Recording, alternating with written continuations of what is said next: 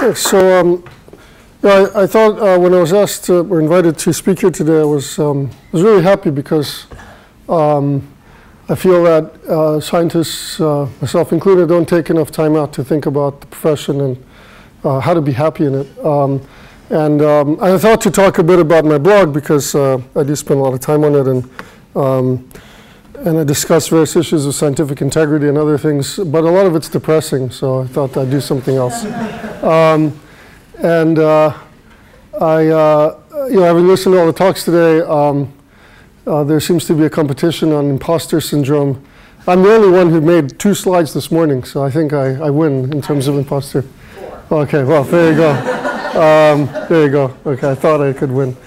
Um, so I, I, thought a lot about um, you know, my, my own career and um, whether there's any unifying ideas or, or, a principle behind that I've learned. Um, uh, and I, I, thought I came up with one which I'd share with you um, uh, due to Abraham Wald, uh, which uh, is a very simple thing, but actually maybe not so simple as well. And um, thought I'd discuss it. So um, this goes back to, uh, uh, well, actually, this is an anecdote or a story I, I I didn't know, and I learned recently from a book by a mathematician uh, called Jordan Ellenberg. It's uh, something like How to Not Be Wrong or How Not to Be Wrong. It's a great math book uh, for the general public.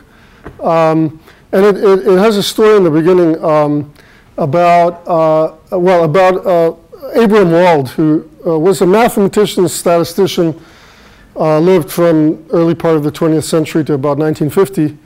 And he, um, in, in World War II, he was, uh, uh, he was called upon to help with uh, a challenge of the Air Force, which was to design better armor for aircraft. So the idea was that, you know, all these planes were going out and coming back with bullet holes.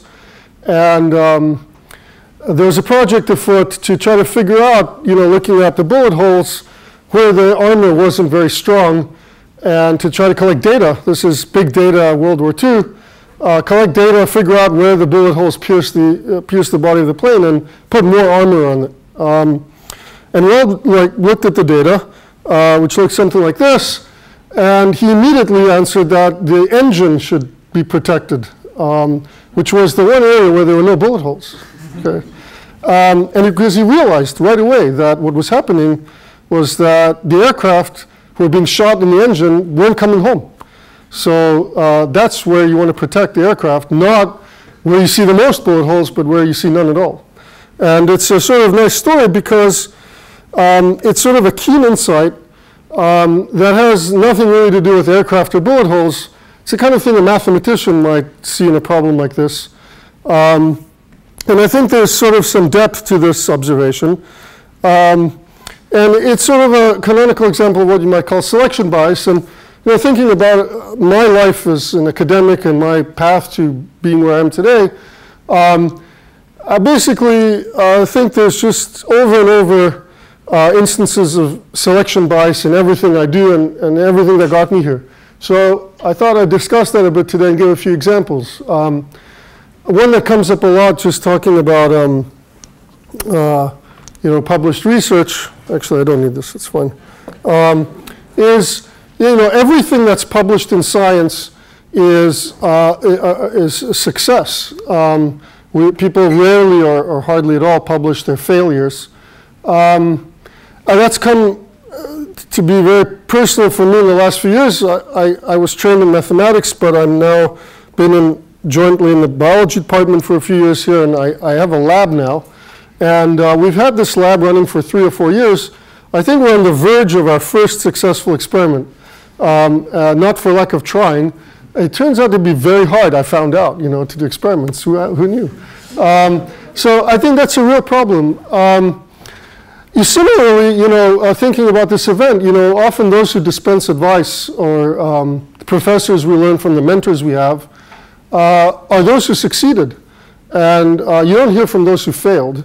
Um, actually, it's much more complicated than that. Um, you know, one of the things I think, uh, being negative for a second, was horrible for me looking back about growing up in science is that, and I think it's true today, there's a very strong sense that success means um, in academia to become a tenured professor, ideally at a highly ranked university. Um, actually, one of the speakers earlier was talking about scientific outreach and called that an alternative career, but really it's a completely legitimate, reasonable career. Actually, the alternative is becoming a tenured professor because very few people actually do that. Um, the mainstream of graduate students that come through a place like UC Berkeley, including my own students, go on, for example, in industry, where they do a lot of great science.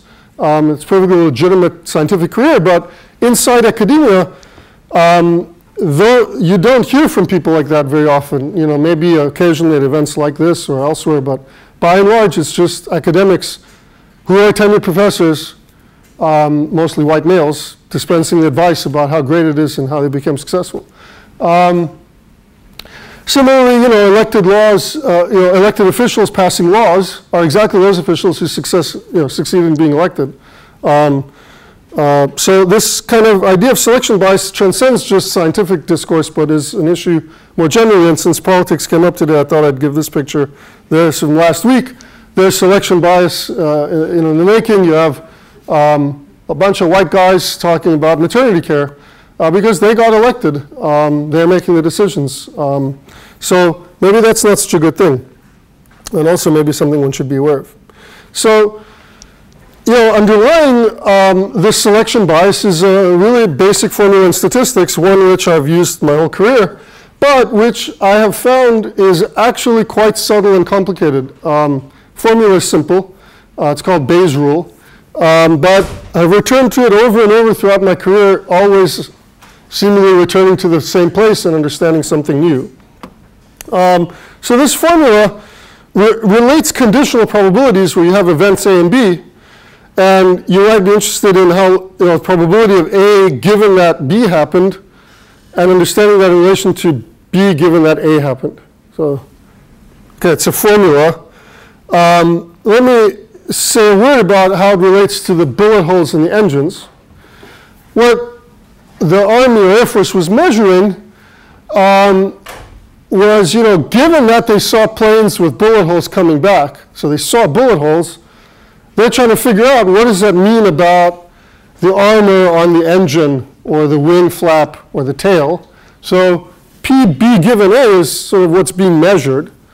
Um, of course, there's a general probability for the engine being hit versus the wing or some other part of the aircraft. And you can think of Abraham Wald's insight was to realize that when they're shooting at the planes from the ground, they're not particularly more liable to hit the engine or the wing or any other part of the aircraft. Maybe it's a bit harder to hit the very top of the aircraft, but generally they're just shooting all over the aircraft. So that these probabilities are kind of uniform. Um, and basically, what you're really interested in is to know if the engine was hit, you know, would there be a bullet hole there? And, you know, basically the answer is no. The answer is zero. You know, if the engine's hit, you're not going to see a bullet hole because the whole plane crashes. Um, so really what he was doing in his head, this selection bias that he was noting there, what he was really fluent with was Bayes' rule. And becoming fluent with Bayes' rule, I feel is sort of a basic life skill um, that would serve one well in grad school and postdoc, uh, just thinking about that in terms of what's going on in one's career. Um, just to give an idea of you know, how subtle Bayes' rule can be, because formula looks kind of simple, but this is an example that I uh, uh, developed for a course here for freshman students. Um, we, we developed this in the math department, sort of a course on stats um, alongside calculus to replace just the calculus sequence for biology majors. And we have this example. It's a very standard example in, in when teaching uh, Bayes' rule. Um, is that when you go out and test for rare diseases, um, you might have a test that's correct 99% of the time when you give it to somebody with a disease, that is to say 99% of the time you'll identify that that person is sick with the disease. Um, and 99.5% of the time when somebody doesn't have the disease. So if somebody's healthy and you do the test, almost always you note that they're actually healthy. But because the disease is rare, if you um, you know, you, you get this sort of non-intuitive result, which is that if you want to, you know, you, you test positive and you'd like to know, does somebody have the disease? um, turns out that the probability is actually quite low. So with those numbers I just showed you, and here's all the math, don't worry, I won't make you do it. Um, turns out only 0.2% of the people who test positive actually have the disease. So if you go back and look at these numbers, you know, it's not intuitive, right? The test seems very accurate. 99% you know, sensitive, 99.5% specific, but the disease being rare uh, causes you to have uh, a very low probability of actually having the disease, even though you tested positive. And actually, I don't have time today to go into it, but this relates to a lot of what I do on my blog because you can understand a lot of sort of the lack of reproducibility in science, um, you know, in terms of this kind of very simple math. You know, people often do a test and they compute a p-value, uh, but really, uh, they're, what they're really trying to do is look for the truth.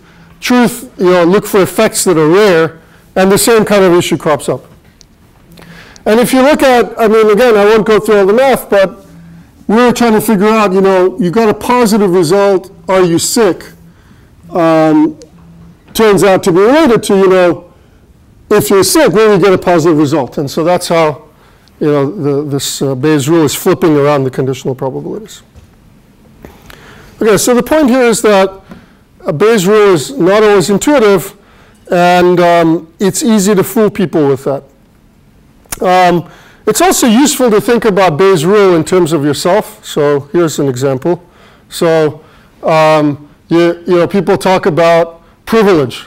And this new thing, it's like everybody talks about privilege and, you know, and there's sort of two camps, right? There's the people who think that it's very unfair that some people have privilege. Um, and then there's the other folks who say, well, you know, I don't know, I had a hard time in my life. So what if I'm a white male guy? Um, but again, you know, it's sort of the same uh, trick going on here. To really understand actually privilege, I think you need to understand Bayes' rule. Um, you're kind of asking, you know, what's the probability that I'll have a successful life given that I had privilege? You know, that's the calculation you're trying to do. Um, and that relates to, you know, uh, given that you're at success, are you somebody with privilege? And, you know, you look around and you, you measure people who've had success, quote unquote, let's say you're looking at tenured faculty in our math department here on campus, um, by and large, all people with privilege. So those probabilities are very high.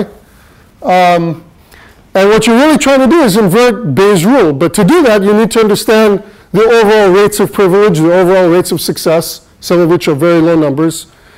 And only that way can you sort of make sense of this calculation. So I think that's one reason, actually, people get in fisticuffs over this sort of thing because it's actually quite complicated to make sense of it. It's not as simple as saying, you know, privilege yields success or success yields privilege or the other way around. Um, uh, same with career choice. You know, when you're thinking about career choice, what you're really interested in is, you know, given some advice, will that lead me to success? That's what people are trying to sell you all the time. Um, but the, the data that you're looking at is, you know, did the people who had success, you know, what, what advice did they follow? That's what they're telling you. So you're trying to invert this. So uh, every time it's an inversion, they can have a non-obvious and non-intuitive result.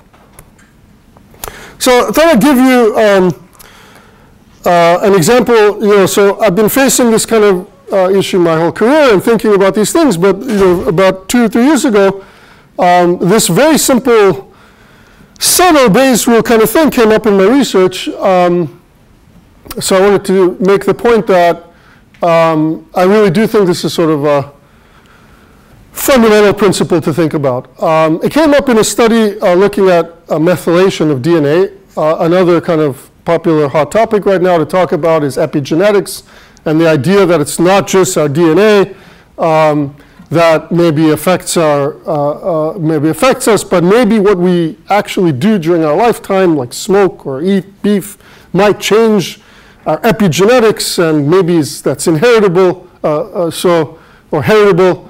And so uh, there's lots of you know fun, popular science about this. A lot of it rubbish, but anyway. Um, we are studying methylation, and basically methylation is a chemical modification on DNA. It's one type of epigenetic mark, and it's known that these sort of chemical modifications on DNA depend on the, you know, which kind of cell the DNA is in. Methylation states may change over time, and occasionally they may be inherited in certain ways.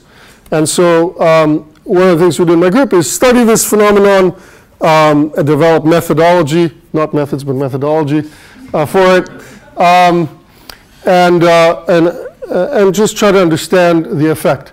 And uh, we were looking at some literature um, that was looking at methylation patterns um, in genes and their relationship to splicing.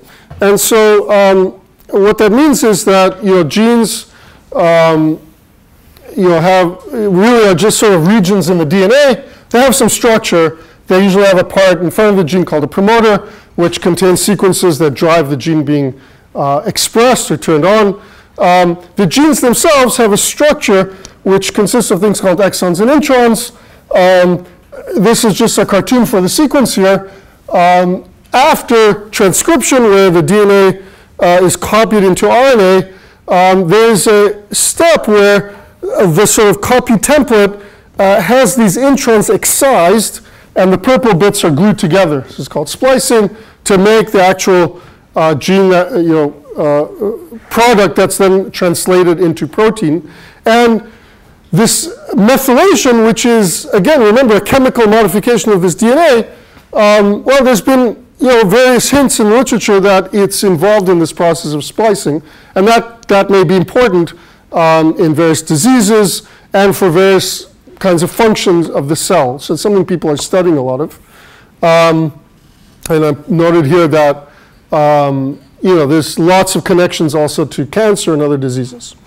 And people were making plots like this all over the literature. We actually found a few dozen papers like this, where they noted that where you have a junction between a part of the DNA that's going to later get excised as RNA and an exon that will go on to make protein, that there's an overall higher rate of methylation in the exons, which is sort of interesting. You know, why would there be a higher rate of methylation? Well, that's an interesting question you might ask, and maybe that hints at some function of the methylation uh, in terms of its connection to splicing and expression and so on. These plots are really simple. There's just measurements made across lots of different genes. At each site, you go and you measure the, you know, the number of methylated cytosines. What this means here, methylation affects the C. Um, it happens at CGs, so you know where you have a C followed by a G. Uh, the C may or may not be methylated, and you count the number where the C is methylated versus the number it's not, and that's how the people made these plots. Um, so that's what I'm showing here. You just take lots and lots of these regions and you just average. Um, now, what happens when you do this averaging is that uh, if you look at a specific gene, you may have a site where you just don't have a CG. So I put an X for those uh, because you just can't get a measurement there. It's missing data. Or you might have a site where you do have a CG, in which case there are two options. Either it's methylated or not methylated, that'd be 0 and 1. So you get kind of data where in some cases you simply have missing uh, data with an X because there was no CG, and then you just average over each of the columns over where you did collect your data.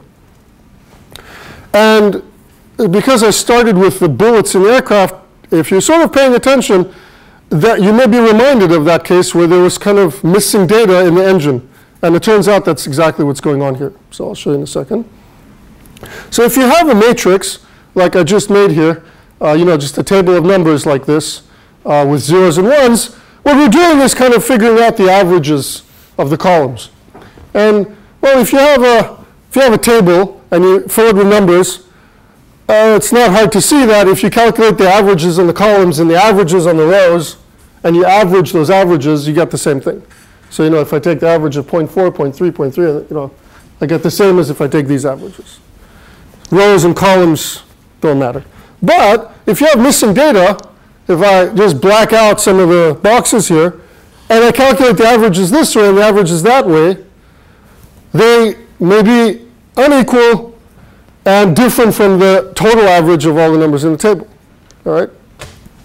And that's just how it is. All right? Um, And so it turns out that that is affecting the calculation here because what you're doing in these tables is you're calculating the column averages, um, but those may be different than the row averages, which are the sort of the average amount of methylation across each intron or exon. And so you may get pictures like this, even though if you look at a specific row, that is a specific, you know, single gene, there is no excess uh, methylation rate one way or the other. And you can see that right here. So in each of the genes, if I take this gene, for example, it's 100% methylated in the intron, and it's 100% methylated in the exon. And that's true for every single one. Yet, when I look at the column averages, it appears to me that the intron is um, less methylated than the exon. Okay? And that's because of the, the row on top. So every single gene is exactly the same in its introns and exons, but this plot makes it look flipped. It's a pretty subtle effect. All right? So what's going on here is called Simpson's paradox, and it's very closely related to what I was just talking about before. Um, just check the time, make sure I don't go too far over. Um, it's a really kind of just happens to be um, historical accident that it was popularized in an article in Science in the late 70s by a professor of statistics here, Peter Bickel, in relationship to Berkeley admission numbers. There Were, he was asked to investigate potential bias in Berkeley admission rates where men um, seem to have higher admission rates than women.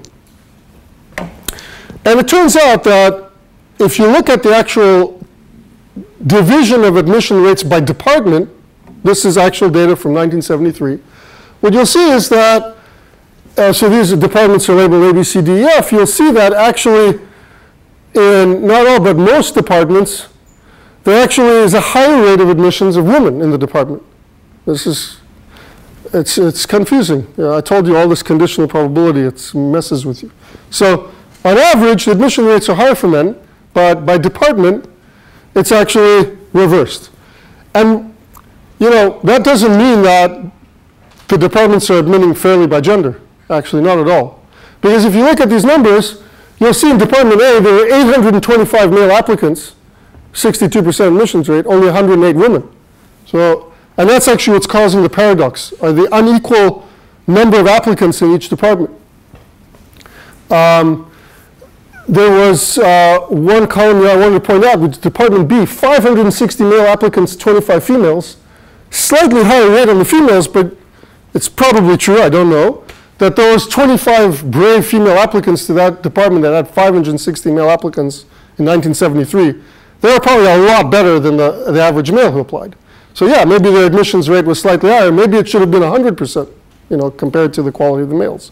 So it doesn't tell the whole story, but you can get this reversed effect. And I thought I'd actually explain this effect. I just think it's so fundamental. It's like the bullets on the airplane. And it comes up every election. It actually came up in the most recent election. Most people don't know this, so or don't even realize it. Um, you know, there's kind of this meme out there that politicians are kind of stupid, ignorant, don't believe in truth, don't understand science. They're actually pretty smart about abusing the statistics. All right? Um, this is a gr great example. These are the voting rates for the Civil Rights Act.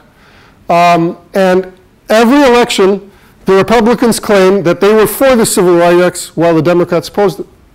And it's actually true, right? So if you actually look by the House and Senate, these are the rates of, um, of yes votes uh, for the Civil Rights Act. You can imagine what I'm about to do now. I'm going to break apart the data set for you. You go by north and south, that's the opposite, all right? So if you look at northern Democrats, northern Republicans, southern Democrats, southern Republicans, you'll see that 94% of northern Democrats voted for the Civil Rights Act versus 85% Republicans. In the South, 0%, no Republicans voted. Um, actually, either the Senate or the House of Representatives, you had 0% of Southern Republicans voting for the Civil Rights Act and a lot more Democrats in the North. Almost unanimous vote by the Democrats in the North. Um, so, you know, it's, uh, so the Democrats say that they were for the Civil Rights Act, and they're also telling the truth, okay? So uh, I don't think that the politicians are that stupid. They know exactly which table they're looking at. What's really going on here, it's exactly the same as with the admissions to Berkeley. Um, it's the sort of, uh, you know, this kind of um, imbalance in the, in the number of admissions that, that you see going on here. You can see that it's true that you know, very, you know, very few Southern Democrats actually voted for the Civil Rights Act. Basically, Southerners were not in favor of the Civil Rights Act. Um, but there were a lot more Northern uh, Democrats. Um, and the same in the Senate. You know, basically almost nobody voted for the Civil Rights Act. So really, the right way to understand this data is it's not a Republican-Democrat split that's really going on here. It's a North-South split. You know, the Southerners are against it. The Northerners are for it. And in the North, um, there is a majority among Democrats. So, um, you know, it's a kind of, uh, uh, so I, I, think these things are important to understand, and as educated citizens, before casting the stones at the politicians, we have to understand it ourselves.